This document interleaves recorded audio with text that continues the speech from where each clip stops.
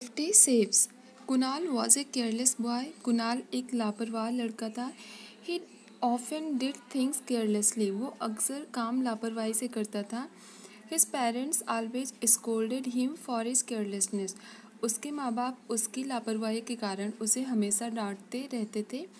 One fine morning he was very disturb as he could not find his pen एक दिन सुबह वो बहुत परेशान था क्योंकि उसे उसका पेन नहीं मिल रहा था। He needed the pen to write English test उसे पेन की ज़रूरत अंग्रेज़ी की परीक्षा देने के लिए थी। He search for it everywhere but could not find it उसने उसे सब जगह ढूंढा लेकिन कहीं नहीं मिला। As Kunal was getting late for his school he hurry down the road to catch the bus to school जैसा कि कुणाल को लेट हो रहा था, वो सड़क पर दौड़ते हुए बस को पकड़ने के लिए गया। ही saw a large red colored bus leaving the bus stop. उसने एक लाल रंग की बड़ी सी बस को देखा। बस स्टॉपेज को छोड़ते हुए he ran after it and jump on to the bus वो उस बस के पीछे भागा और उसका पीछा किया, पीछे और उस पर चढ़ गया कूद कर चढ़ गया। An old man who was sitting in the bus says एक बूढ़ा आदमी जो उस बस में बैठा था, उसने कहा old man don't you know trying to catch a running bus is dangerous thing to do उस बूढ़े आदमी ने कहा कि क्या आपको पता नहीं है कि चलती हुई बस को दौड़कर पकड़ना ये कितना खतरनाक है? Kunal I am in hurry I am in a hurry मैं जल्दी में था। सॉरी मैं जल्दी में हूँ। I have a test today आज मेरा टेस्ट है। I did not want to miss my test मैं अपने एग्ज़ाम को नहीं छोड़ना चाहता।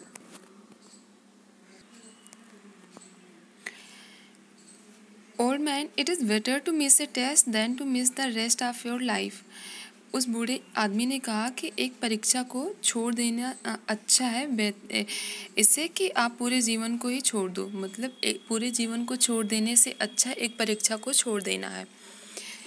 Kunal sorry sir I will keep it in mind and follow it Kunal कहता है कि, मुझे माफ़ कर दीजिए सर मैं इसे ध्यान में रखूँगा. द बस वॉज़ क्राउडेड बस पूरी भरी हुई थी, उसमें बहुत भीड़ थी। Kunal looked for his friends but no one was there Kunal ने अपने फ्रेंड को देखा, लेकिन वहाँ पर कोई नहीं था। He found that he was on the wrong bus उसने अपने आप को पाया कि वो एक गलत बस में है। हिज फेस टर्न पेल उसका चेहरा पीला पड़ गया। He jump off the moving bus वो चलती हुई बस से कूदा। He landed with a bump on the on the road he landed with a bump on the road. वो धड़ाम से सड़क पर गिर गया। A scooter was coming from behind. पीछे से एक स्कूटर आ रहा था। It stop just a few inches away from him. और वो स्कूटर उससे कुछ ही इंचों की दूरी पर रुका। The women on the scooter shouted at him. Scooter चलाने वाली महिला उस पर चिल्लाई। Women don't you do you want to hurt yourself वो औरत, उसने कहा कि क्या आप अपने आप को चोट पहुंचाना चाहते हो? कुणाल नो मैम नहीं मैम आई एम सॉरी मुझे माफ़ कर दीजिए I am getting late for school मुझे स्कूल के लिए देर हो रही है women does this mean you will jump off the bus तो इसका मतलब ये है कि आप चलती हुई बस से कूद जाओगे। Don't you know jumping off a moving bus is dangerous कि आपको पता नहीं है कि चलती हुई बस से कूदना कितना खतरनाक है? Kunal started crying loudly Kunal तेज़ से रोने लगा। ही वॉज़ बैडली इंजर्ड उसे बहुत तेज से वो बुरी तरीके से उसे चोट लग गई थी। He told her the whole incident उसने उसे मीन्स कुणाल ने उस आ, महिला से अपनी सारी सारी घटना बता दी। सी लिसन केयरफुली उसने उसे ध्यान से सुना। Women remember it is always better to be safe than sorry महिला ने कहा कि याद रखो, अफसोस करने से अच्छा सुरक्षित रहना है। Kunal what should I do ma'am Kunal कहता है कि मुझे क्या करना चाहिए? Will you please take me to the doctor क्या आप मुझे डॉक्टर के पास ले चलेंगी?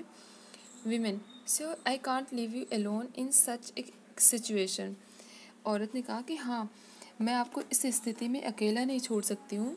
Kunal thank you very much ma'am आपका बहुत शुक्रिया ma'am on the way she recited him a poem रास्ते में उसने मतलब उस महिला ने उसने, उसे एक पोएम सुनाई। Never play on the road कभी सड़क पर मत खेलो। नेवर रन अक्रॉस कभी सड़क पर मत दौड़ो। नेवर वॉक इन ग्रुप्स कभी भीड़ में मत चलो। Never breaks the traffic rules यातायात के नियमों को मत तोड़ो। नेवर जम्प फ्रॉम ए बस कभी बस से मत कूदो। नेवर कैच ए रनिंग बस कभी चलती हुई बस को मत पकड़ो। Never never put your head और हैंड आउट कभी अपने सिर या फिर हाथ को वाहन से बाहर मत निकालो। नेवर यल स्क्रीम और साउट कभी चीखो या चिल्लाओ मत। Doing this you will always be safe and sound both you and everyone around कहते ऐसा करके आप हमेशा नहीं आप, बल्कि आपके आसपास के लोग भी सुरक्षित और स्वस्थ रहेंगे। Kunal had learn a lesson he वो he vowed never to be careless Kunal को सबक कुणाल ने को सबक मिल गया था और उसने प्रतिज्ञा की कि वो अब लापरवाही नहीं करेगा।